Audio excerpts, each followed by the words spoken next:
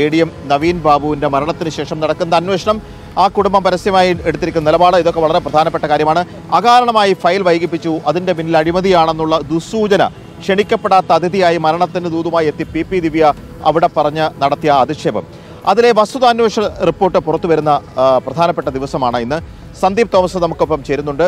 Sandeep collector നടത്തിയ അന്വേഷണത്തിൽ ഇപ്പോൾ പുറത്തു വരുന്ന വിവരമനുസരിച്ചാണെങ്കിൽ നവീൻ ബാബുവിന്റെ ഭാഗത്തുനിന്ന് ഒരു പിഴവും ഉണ്ടായിട്ടില്ല.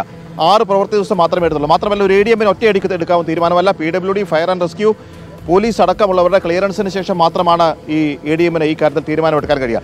അന്വേഷണത്തിൽ വ്യക്തമാകുന്ന കാര്യങ്ങൾ എന്തൊക്കെയാണ്? അകാരണമായ ഒരു മനുഷ്യനെ അഴിമതിക്കാരനായി ചാപ്പകുത്തി മരണത്തിലേക്ക് തള്ളിവിട്ടതാണോ?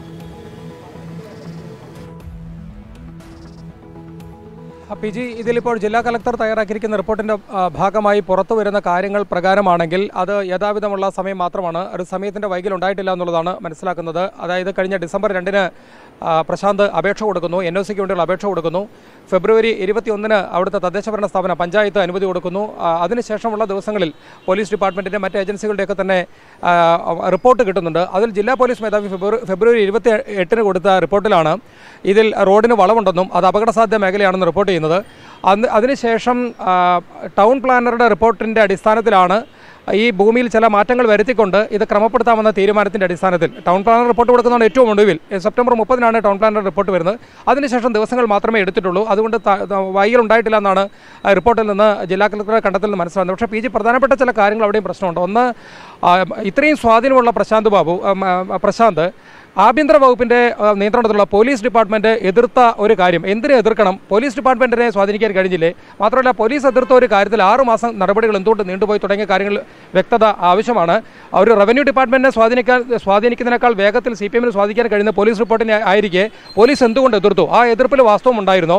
ആ പോലീസ് റിപ്പോർട്ടിന്റെ എതിർപ്പിനെ ഈ ടൗൺ പ്ലാനർ പറഞ്ഞ ഭേദഗതികൾ കൊണ്ട് മറികടക്കാൻ കഴിയുന്ന നിലയിലാണ് കാര്യങ്ങൾ. അപ്പോൾ ആ N O C N O C സംബന്ധിച്ച് തന്നെ കുറേ കാര്യങ്ങൾ വ്യക്തത വേണ്ടതുണ്ട്. അത് ക്രമപ്രകാരം തന്നെയാണോ. അത് മറ്റെന്തെങ്കിലും സമ്മർദ്ദത്തിന്റെ ഭാഗമായിട്ടാണോ? ഏതായാലും ഇക്കാര്യത്തിൽ എ ഡി എമ്മിന്റെ ഭാഗത്ത് പിഴവൊന്നുമില്ല എന്ന രീതിയിൽ തന്നെയാണ് ഇപ്പോൾ ജില്ലാ കളക്ടറുടെ കണ്ടെത്തൽ പുറത്തു വരുന്നത്. ഒന്ന് മറ്റൊന്ന് ദിവ്യയുടെ നിയമപരമായിട്ടുള്ള വഴികളാണ്. ഇന്നലെ രാജി രാജിക്കത്ത് നൽകിക്കൊണ്ടുള്ള രാജിക്കത്ത് പുറത്തു വിട്ടുകൊണ്ട് ദിവ്യ പറയുന്നത് താൻ അന്വേഷണമായി സഹകരിക്കും. തനിക്ക് നേര നിരപരാധിത്വം ബോധിപ്പിക്കാൻ കഴിയും തുടങ്ങിയ കാര്യങ്ങളൊക്കെ പറയുന്നുണ്ടെങ്കിലും കഴിഞ്ഞ നാല് ദിവസമായി ദിവ്യ വീട്ടിൽ നിന്ന് പുറത്തിറങ്ങിയിട്ടില്ല. വലിയ തോതിലുള്ള പ്രതിപക്ഷ സംഘടനകളുടെ പ്രതിഷേധവും മറ്റും ഒരു ഭാഗത്ത് ഉണ്ട്. അപ്പോൾ ഇനി സ്വാഭാവികമായിട്ട് മാത്രമല്ല ജാമ്യമില്ലാ കുറ്റമാണ് ചുമത്തിയിരിക്കുന്നത്.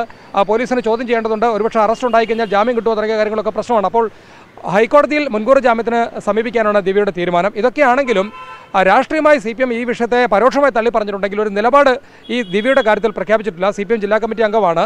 അപ്പോൾ സി പി എമ്മിന്റെ തലത്തിലുള്ള അച്ചടക്ക നടപടി എന്താകും എന്ന കാര്യത്തിലും തീരുമാനം വരേണ്ടതുണ്ട്. ഇന്നലെ തന്നെ നമുക്കറിയാം ഇന്നലെ ചേർന്ന ജില്ലാ സെക്രട്ടേറിയറ്റ് യോഗം ഉച്ചയ്ക്ക് ഈ വിഷയം ചർച്ചയ്ക്കെടുത്തില്ല. വൈകിട്ട് സംസ്ഥാന നേതൃത്വം കർശനമായി ആവശ്യപ്പെട്ടതിന്റെ അടിസ്ഥാനത്തിലാണ് ജില്ലാ പഞ്ചായത്ത് പ്രസിഡന്റ് സ്ഥാനത്ത് മാറി നിൽക്കണമെന്ന് തന്നെ പറഞ്ഞത്.